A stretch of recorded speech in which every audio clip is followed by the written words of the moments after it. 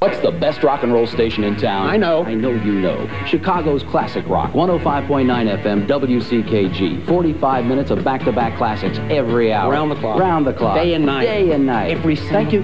The Beatles, Genesis, The Stones. WCKG plays only the best for at least 45 minutes. Three quarters of an hour. Three quarters of an hour. 2,700 seconds. 2,700 In dog minutes, that's uh, 45 minutes of back-to-back classics on WCKG. 315 dog minutes.